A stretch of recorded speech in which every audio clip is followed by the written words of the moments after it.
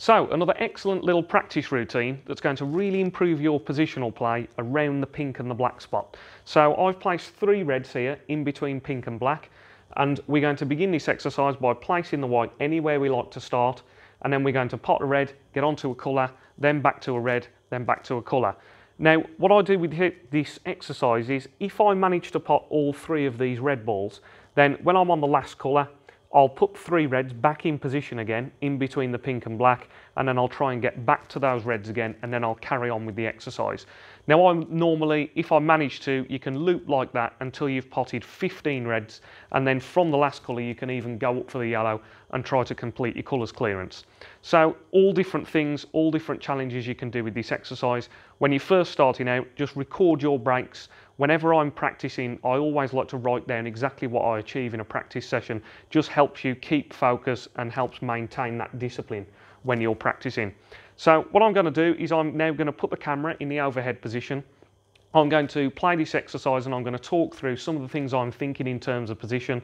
I'm also going to display a cue ball on the screen as well so you can see exactly where I'm aiming and where I'm striking on all of my different positional shots. Right, so the first thing to note here is that I've put these two little red areas down the sides of the table. And when I'm break building, I'm always thinking about trying to keep my white out of these red zones. So I want the white nicely in the middle of the table.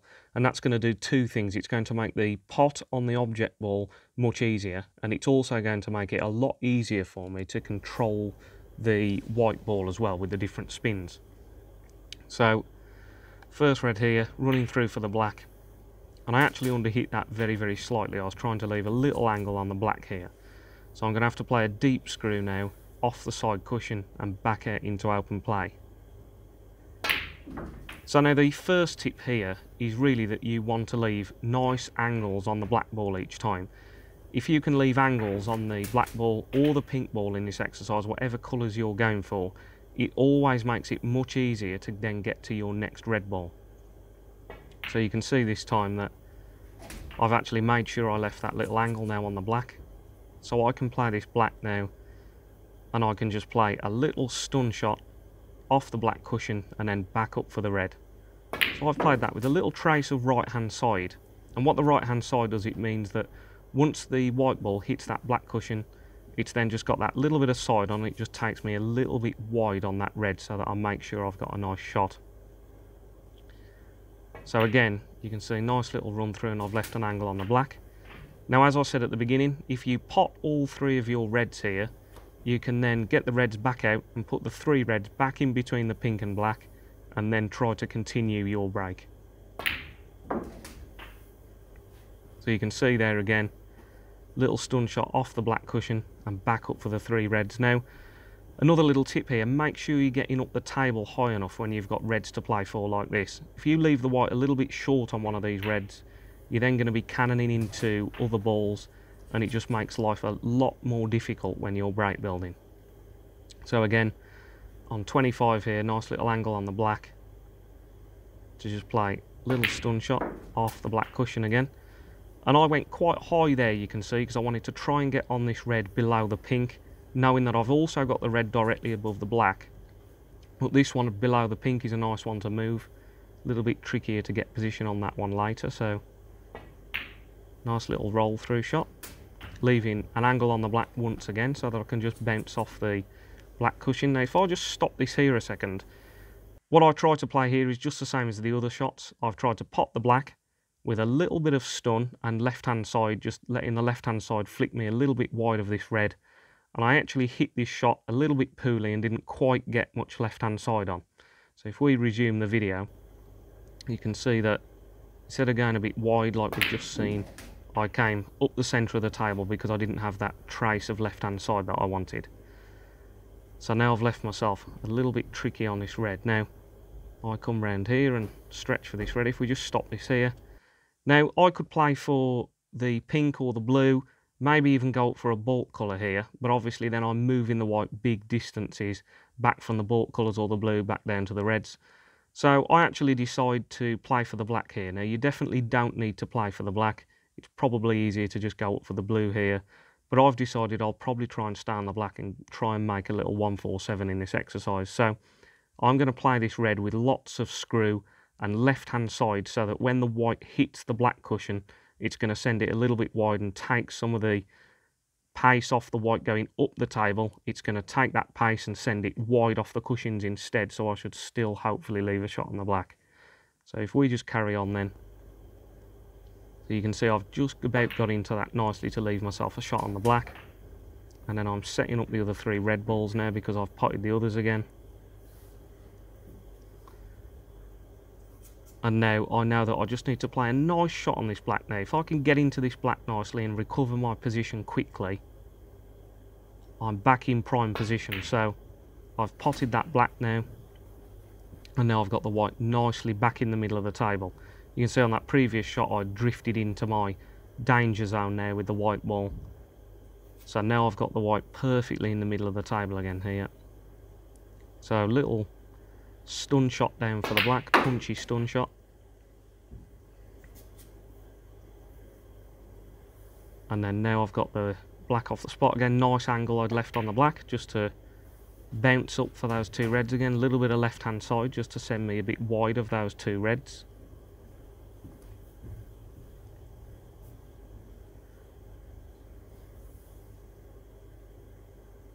Again, just a little stun shot off the black cushion there.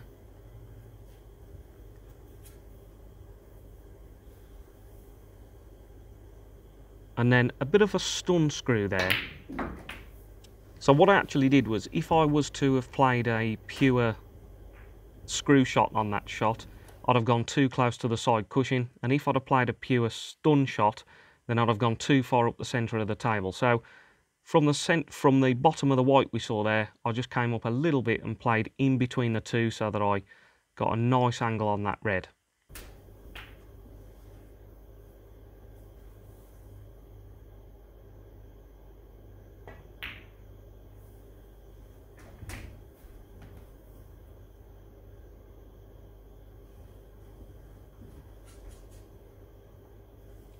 So I've got little angle on the black here again.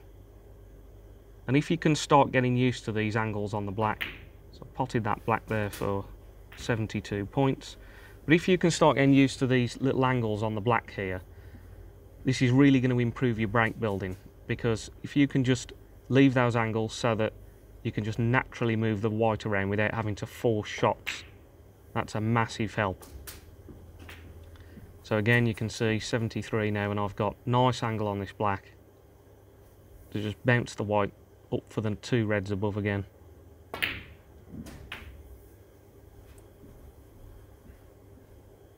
So I've got my white nicely in the middle of the table again.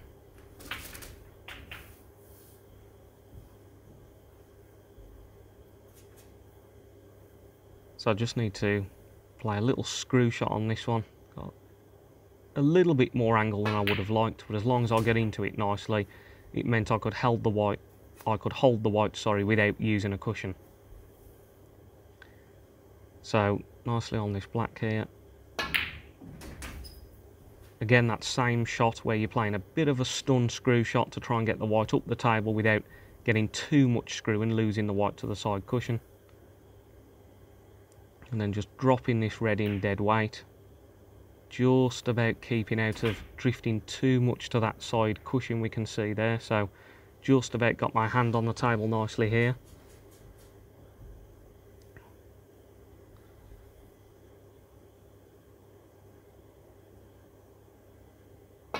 so nice pot on the black there but just let the white ball drift into that area where it's a bit close to the side cushion for comfort here so as you can see here, I'm standing behind the shot. Just pause the video a second.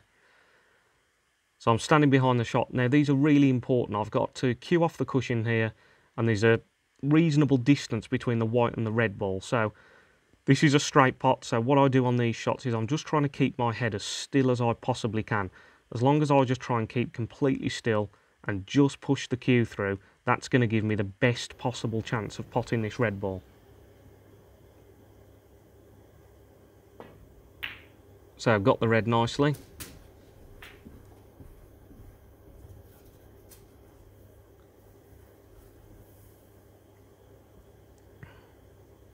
So I actually was a, a little bit straighter than I wanted to be there on the black. So I had to play the screw shot on and off the side cushion, but I made sure I got into it enough to get back into the middle of the table again. Now this is the 14th red that I'm potting here, so potting this red. And then because I've potted 15 reds if I manage to get on this last one, I won't actually bother here getting any more reds out. So if I manage to pot 15 reds with colours, I'll then just go up for the yellow and try to complete the colours clearance.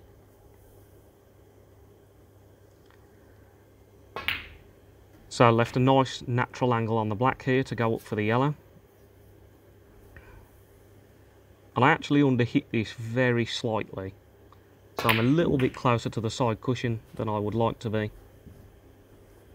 So what I think on these shots now is I'm thinking to myself, one more good shot on this yellow now and I should get myself back into a nice position. So just trying to play this as a nice deep screw, get into the white ball nicely. As long as I get that pot, so I've hit that quite nicely, I've now just got to complete my colours clearance. And this is where your colours clearance practice will come in and be so important when you're doing these exercises. If you're confident that you can complete the colours clearance then when you're doing these exercises and you're on a bit of a break like I am here it just gives you the confidence to know that you've cleared the colours lots of times before in practice and that you should be able to do it now as well. So nicely on the blue here. Actually hit this a little bit poorly here. Just didn't quite hold the white as much as I would have wanted to So I'm in between shots on this pink. I haven't really gone off angle to go around the table, so I just decided to drop it in and try and just leave the white in the middle of the table where I've got a nice shot on the black. And then with my hand on the table, I don't have to do anything special here. And then I can just drop the black in, natural ball. And that's a little 147 completed in that exercise there. So hopefully you found that useful there and you can see all the different positions that I was striking on the cue ball to maintain my control around the pink and the black spot there. Now as I say, when you're first starting out and you're trying to improve, I would just always make a note of the breaks that I managed to do in an exercise like this. So you're only ever really competing against yourself. You need to make a record of exactly what you achieve and then constantly try and push yourself to just get better and better, little small incremental improvements in exercises and learning how to control the white ball. So as always, I hope you found this video useful. If you did, then please give the video a like. If you want to see more practice routine videos like this and lots of instructional tutorials, then please subscribe to the channel. Please consider as well supporting these videos on Patreon. That really helps me just devote more time to filming and editing these videos. And as always, thanks for watching. Cheers.